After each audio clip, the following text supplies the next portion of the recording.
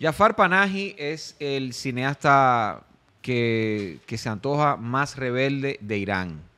Él siempre, digamos, sus últimos 15, 20 años, eh, se ha decidido por hacer un cine combativo, un cine que en principio sus películas tú las veías con cierta carga poética y una, y digamos, un, un disimulo ¿no? en sus críticas, como la mayoría de los artistas ¿no? que producen sus películas bajo la égida del, del- de, los- de los, de los ayatolás, desde 1979, cuando irrumpieron en el país. Pero el hombre se volvió militante fuertemente. Yo diría que, qué sé yo, 99, desde mediados de los 90 con su cine empezó a hacerse militante y cada vez más el régimen le se pone más duro con él, prisiones domiciliarias y todo eso. Taxi Teherán, por ejemplo, en el año 2015 o 2014, el tipo rueda la película y de forma semiclandestina, ¿no? A bordo de un taxi y él entrevista en modo de falso documental diferentes sectores de, de la sociedad iraní y, por supuesto, eh, entrevista a un vendedor de películas pirata y ahí le habla, no lo trata de, de gestor cultural. Claro. ¿eh? Gestor cultural. Ese- Gestor. Esa es la palabra, Me gestor encanta. cultural. Le, le dio ese título, ¿no? Tú nos has salvado, tú eres un gestor cultural. El punto es que ahora en esta película, su nuevo trabajo llamado No Bears, No bears. eh, el hombre va al- a una provincia eh, de, de Irán que es fronteriza con Turquía y nuevamente, ¿no? Se mete en los terrenos del falso documental, de la no ficción y de repente y ch- de manera bien, bien orgánica se confunden, ¿no? Los, la- las fronteras y el señor va a- allá porque está realizando clandestinamente una película. eh, Repite la en- fórmula. En Turquía, pero él está desde eh, Irán porque supuestamente no, supuestamente puede. no, no puede salir No puede salir. de, de Irán.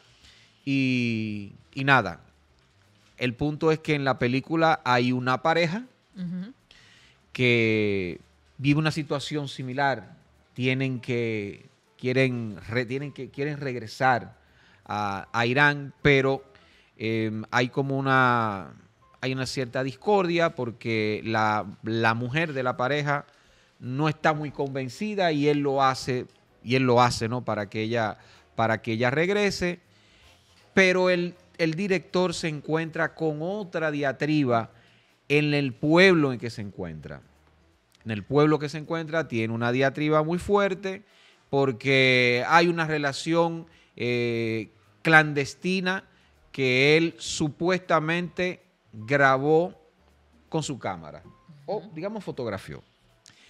Y eso nuevamente trae a, a colación el dolor que él tiene con la sociedad iraní, donde eh, la religión pues se mete mucho con el arte, riñe mucho con ella, no se respetan las fronteras y nada, de eso va su tratado.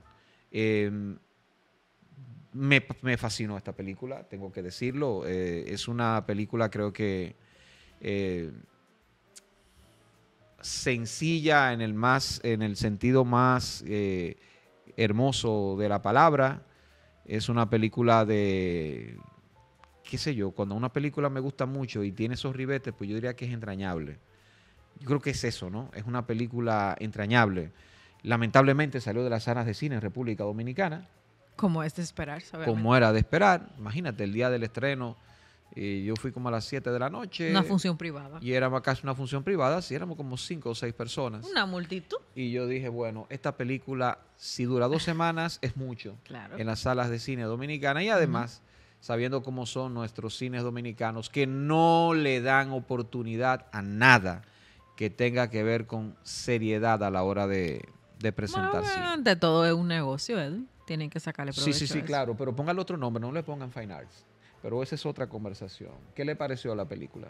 A mí me pareció eh, hermosa, realmente eh, creo que yo te comentaba que me parecía eh, interesante cómo él le da una frescura a, a, un tema tan visto. Yo me refiero a tan visto es a, a, a la intervención que hace eh, eh, eh, la cámara y, la, y, el pretendido documental, el cineasta en fuga. Sí. O sea, todos los conflictos que tú has indicado no, no es algo novedoso, ¿no? No es algo que uno dice, oh, wow, mira, eso yo no, nunca lo había visto. Que aunque claro, ya en esta época no pudiera uno eh, perseguir una novedad, sino una forma distinta de decir las mismas cosas.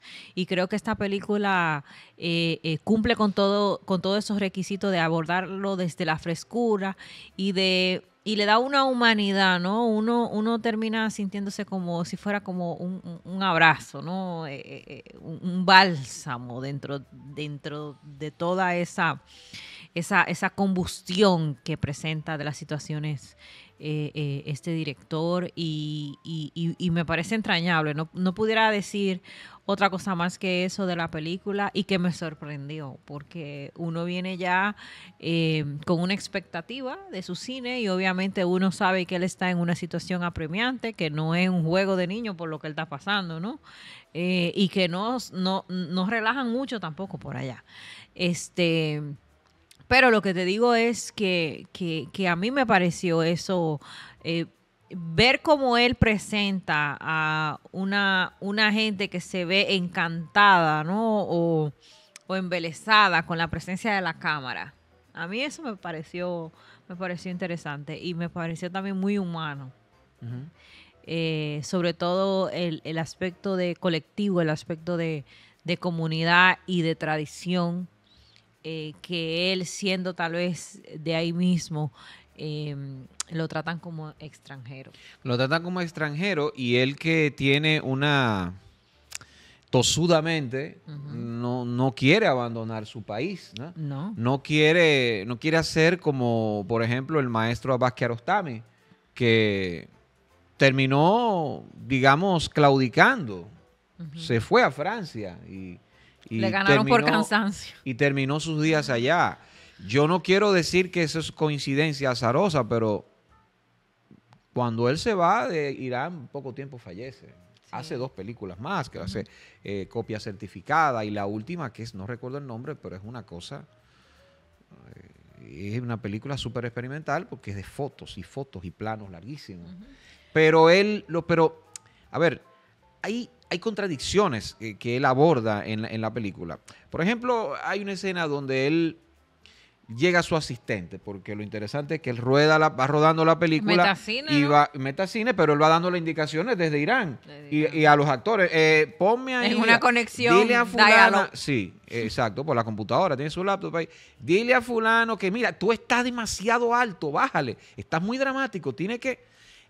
Llega un momento en que cruza la frontera su asistente para enseñarle y se ven en un punto, eh, digamos así, clandestino.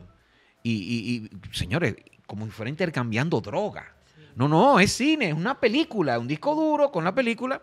Y le dice él, pero mira, vamos a, vamos a ver el, el equipo, vamos a cruzar. Y él, no, que vamos a cruzar. Yo lo planeé todo. Lo planeé no todo. Va, no hay, no, no hay, hay fallo en mi lo, plan, lo, se va a lograr. Los traficantes de aquí, los verdugos del pueblo, mire, sí, de aquí. Sí, están sea, dispuestos lo, a eso. Ya ellos saben. Está todo arreglado. Ellos saben que estamos aquí. Y voy a, fulano hace una seña, pa, hizo una seña, sí, vamos a cruzar ahora. Señores, lo que separa a la frontera es, es nada. Imagínense, bueno, Haití, República Dominicana. Usted va a Pedernales y es una puerta. Eh, un, uh -huh. Aquí ni siquiera una puerta. Aquí era cruzar un, un, un, pedacito, así, ¡pam! Salta un poquito. Y él no se atreve a hacerlo. No se atreve a hacerlo y, y, y, y es como una suerte de prisión. Uh -huh. eh, no solamente es el deber de él plantear desde el arte de resistencia, sino como también la, la imposibilidad de irse. O sea, tenía ese, ese, bueno, voy a cruzar, voy, voy a irme, voy a tener un poco de libertad. No, no, no pudo hacerlo. Y ese tipo de, y ese tipo de contradicciones él las va planteando en el filme. eh, y sin contar el final, es un final, eh, digamos, de acuerdo a la realidad.